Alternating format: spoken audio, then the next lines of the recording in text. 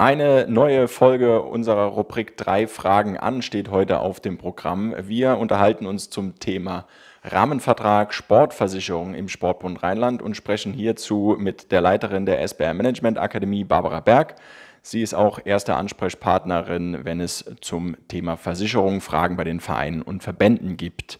Liebe Barbara, wir arbeiten jetzt schon seit etlichen Jahren mit der ARAG Sportversicherung zusammen. Diejenigen, die jetzt tatsächlich zum ersten Mal vom Rahmenvertrag Sportversicherung hören, was ist das Inhalt, der Inhalt und was sind die Ziele der Zusammenarbeit? Mhm. Also eine der satzungsmäßigen Aufgaben des Sportbundes Rheinland ist ja die Sicherstellung des Versicherungsschutzes für unsere Vereine und Verbände. Ähm, und aus diesem Grund haben wir seit 2001 schon einen Rahmenvertrag mit der ARAG Sportversicherung abgeschlossen und in diesem Vertrag die Hauptrisiken, also Versicherungsrisiken ähm, abgesichert, die jeder Verein hat, egal wie groß er ist äh, und egal welche Sportarten er betreibt. Und ähm, neben den Inhalten ist es natürlich auch eine Aufgabe, die äh, Kosten im Blick zu behalten für unsere Vereine. Und ich denke, hier ist es uns durch die solidarische Finanzierung und die Gestaltung der Inhalte in der Vergangenheit immer gelungen, den Versicherungsschutz so kostengünstig wie möglich äh, für unsere Vereine bereitzustellen. Und ähm, die ARAG hat sich hier auch äh, in, seit Jahren als verlässlicher Partner herausgestellt.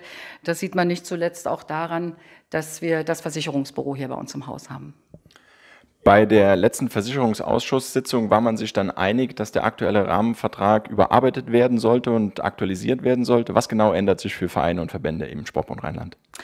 Ja, also es ist natürlich auch unsere Aufgabe, diesen Vertrag immer mal etwas kritisch unter die Lupe zu nehmen und zu gucken, ob er denn noch den tatsächlichen Gegebenheiten angepasst ist. Das haben wir im letzten Jahr getan. Und ähm, hier haben wir festgestellt, dass wir die Versicherungssummen in der Haftpflichtversicherung äh, anheben müssen und äh, wir haben obligatorisch eine DNO-Versicherung und eine Vermögensschadenshaftpflicht aufgenommen und äh, damit über den Sportversicherungsvertrag das persönliche Haftungsrisiko unserer BGB-Vorstände abgesichert und ähm, auch Vermögensschäden, die durch ehrenamtliche Tätigkeiten entstehen. Und ich glaube, das ist äh, wirklich eine gravierende Verbesserung des Sportversicherungsvertrages. Ähm, und wir hoffen natürlich auch, dass äh, wir den einen oder anderen hier motivieren können, etwas angstfreier ein Ehrenamt zu übernehmen.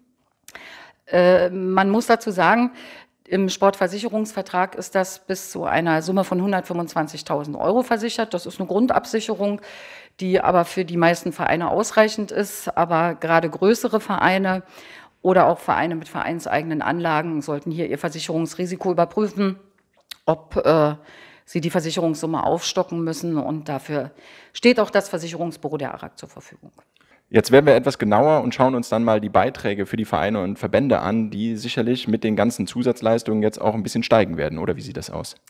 Also die Erhöhung der äh, Haftpflichtversicherungssumme und der Einschluss der DNO und Vermögensschadenshaftpflicht war natürlich nicht zum Nulltarif zu bekommen. Ich denke, das wird auch jedem einleuchten. Aber uns ist es hier äh, gelungen, über die Änderungen in der Unfallversicherung, die künftig erst ab 10 Prozent äh, Invalidität leisten wird, ähm, gegen zu finanzieren und die Beitragssteigerung im Rahmen zu halten. Es wird sich also maximal um 8 Cent pro Mitglied und Jahr handeln.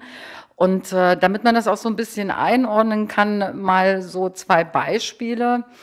Ähm, wenn die DNO-Versicherung ähm, fakultativ abgeschlossen worden wäre.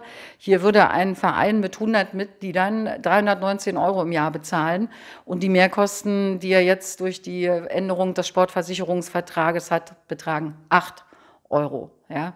Auch für ein größeren Beispiel, hier liegen die Kosten bei fakultativem Abschluss bei 674 Euro und die Mehrkosten, die der Verein jetzt hat, sind 130 Euro. Also ich glaube, ähm, hier ist es uns wirklich gelungen, eine äh, erhebliche Verbesserung äh, für den Versicherungsschutz im Ehrenamt zu erreichen und das zu einer minimalen Beitragssteigerung. Und ich denke schon, dass man ja auch sagen kann, dass der Sportbund Rheinland hier eine Vorreiterrolle spielt. Vielen Dank, lieber Barbara, für den kurzen und interessanten Einblick zum Rahmenvertrag Sportversicherung. Das waren unsere drei Fragen an. Wer weitere Informationen zum Sportversicherungsvertrag im Sportbund Rheinland möchte, schaut gerne auf unserer Homepage sportbundrheinland- sportbund-rheinland.de, so heißt sie richtig, rein. Und ansonsten sehen wir uns beim nächsten Mal, wenn es wieder heißt, drei Fragen an.